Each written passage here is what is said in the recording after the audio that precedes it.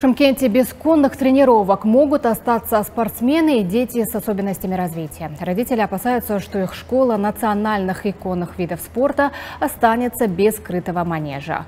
Он на грани сноса из-за грандиозной стройки элитного жилого комплекса. Еще до начала строительных работ им обещали, что дети получат именно новый ипподром, который эта же компания строит за городом. Марина Низовкина выясняла, почему проект еще не начали.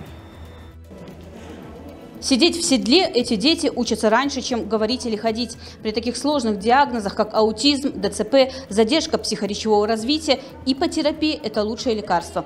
Три года, три раза в неделю и без единого пропуска Татьяна Природина привозит на занятия сына. Прогресс говорит на лицо. Ребенок научился себя обслуживать. Вот только все усилия могут оказаться напрасными, если тренировки остановить. А такая перспектива реально, говорит мать. Над их крытым манежем нависла угроза сноса. Он оказался на пути строителей нового элитного ЖК. Прерывать это, ну, это просто чудовищно, можно сказать. Все эти усилия на смарку будет.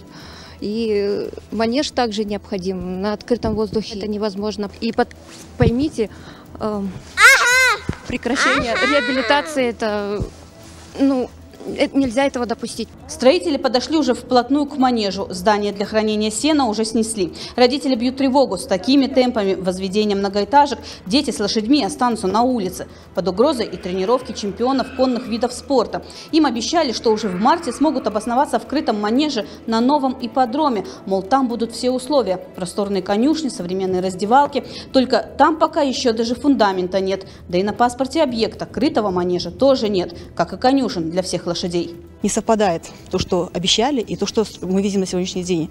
То есть почему этот проект сдулся ровно в пять раз. Вместо 150 лошадей сейчас там 28 лошадей будет находиться. То есть, конечно, 28 лошадей. А ведь у нас национальный вид спорта. Землю под старым манежем и шимкенским ипподромом для элитных жилых комплексов строительная компания BI Group получила от Акимата взамен обещания построить городу новый ипподром. Договорились, что потратят на это 2,5 миллиарда тенге и разместят его на 24 гектарах. Застройщик от интервью отказался, но пояснил, сначала спроектировали ипподром один, но потом решили, что нужно сделать побольше, чтобы он соответствовал международным стандартам. Правда, это вызвало удорожание объекта на полтора миллиарда тенге. В оговоренную ранее сумму не поместились манеж, конюшни и даже освещение. В итоге Акимату Шимкента все же придется вложить миллионы в строительство обещанного городу бесплатного ипподрома. По строительству манежа, трех денников – Э, ночного освещения. Э, как только, значит, э, по нашим расчетам, этот проект должен получить государственную экспертизу к концу мая. Если мы к концу мая получим положительное заключение экспертизы, то в июне уже начнем конкурсные процедуры и где-то в августе начнем строить. Мы же договорились так, пока не построим значит, новый манеж, старый манеж сносить не будем. Строить манеж будут около четырех месяцев и потратят на него из бюджета 500 миллионов тенге. Марина Низовкина, Виталий Заинтинов, это Микен Бизнес, Шимкент.